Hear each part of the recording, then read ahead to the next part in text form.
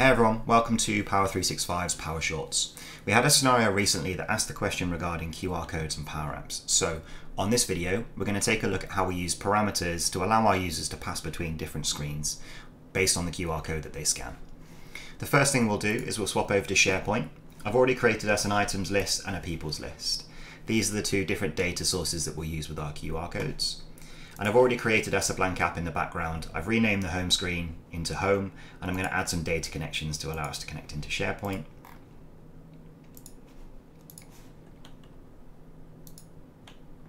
I'm going to add both those demo lists in.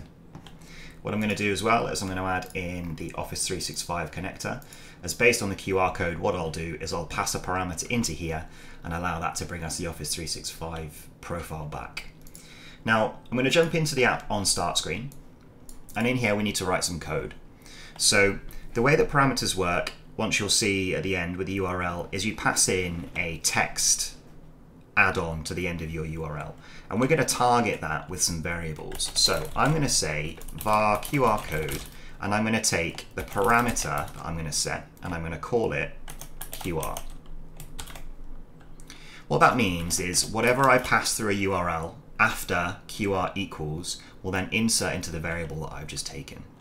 And then I'm going to take it a step further and I'm going to say var QR, var QR code user and I'm going to link in to my Office 365 users and I'm going to find the get user or the my user profile. And from there what I'm going to do is I'm going to insert the lookup of my demo people because this is the people list that we're talking about over here. So I've got some people with some IDs.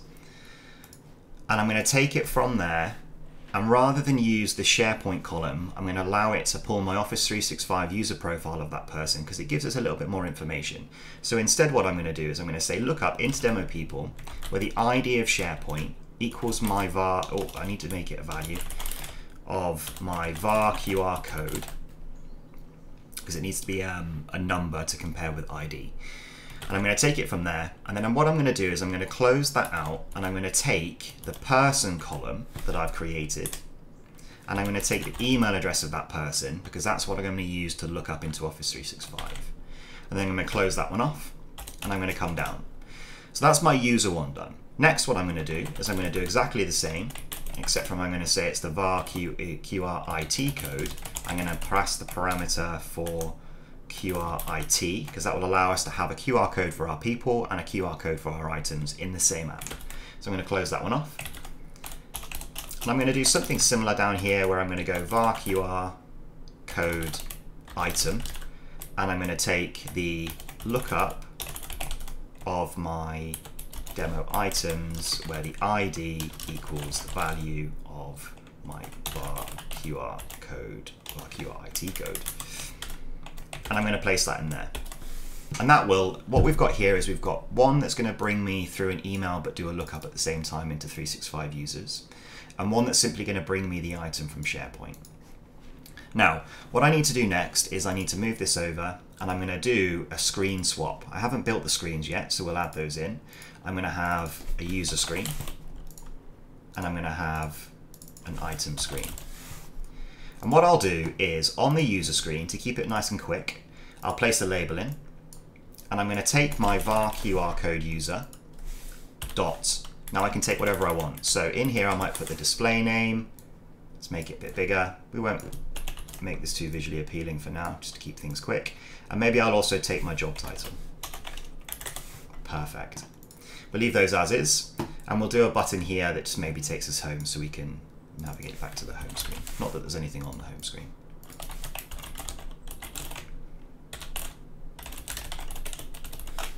we'll do a screen. Now on my item screen, what I will now do is I'll add in my label and I'll target my var QR code for my item and I'll dot in because it's now given me all of the SharePoint columns that I've got. And if I look at what I've got available to me, I've got the ID, the title, and the status. So what I'll do is I'll bring through the title, and I'll also bring through the status dot value because it's a choice field. Perfect. And maybe I'll take this well as well and we'll put this over here so we can go home.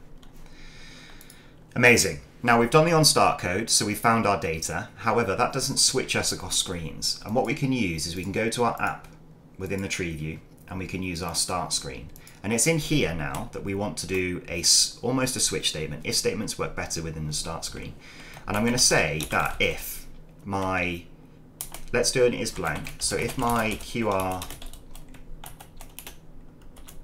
parameter, sorry, parameter of QR, if that's blank, if that isn't blank, sorry, then we will go to the user screen and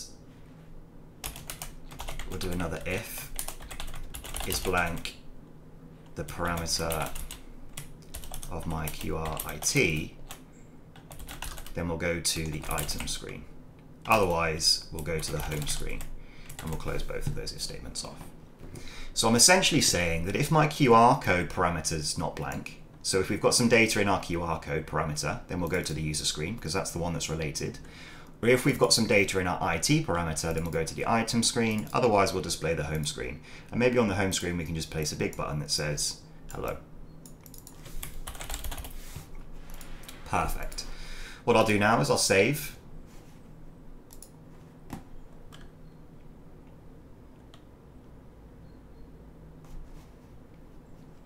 I'll close that out and that will hopefully within my apps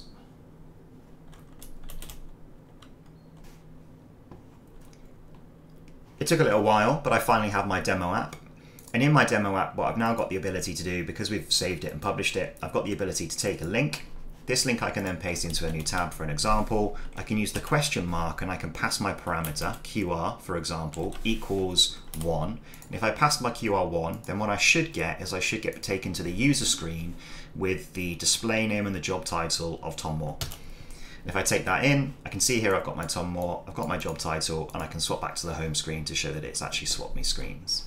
Likewise, if I wanted to change this QR into QRIT and I wanted to do two, I may end up with an issue here, to be fair, because the Office 365 is going to load. Yeah, and there's nothing in there to load. But it swapped me over to my item screen, and I've got my item and the status with that, and I can swap back to the home screen if I wanted to.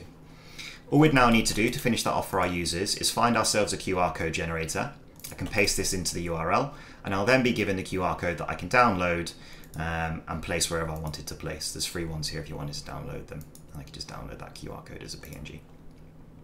Hopefully you've enjoyed that. If you've got any questions, leave them in the comments. We're going to try and draw some of these short videos a little bit more, um, just to answer some of the scenarios, the common questions that we get asked around the business.